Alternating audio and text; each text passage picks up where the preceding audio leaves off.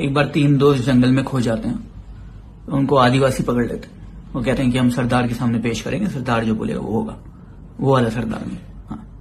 तो सरदार के पास पेश करते हैं सामने, सरदार कहता है कि देखो, मैं टास्क दूँगा, वो करना पड़ेगा, वो कहते हैं, ठीक है। जाओ, जंगल से अपनी अपनी पसंद के दस फ्रूट्स एक तरह के लेके आने।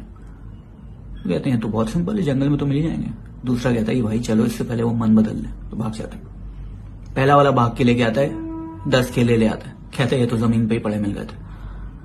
तो कहते हैं, ठीक है, अब इनको you need to shove them up your S और अगर आवाज़ करी हल्की से भी तो मार देंगे।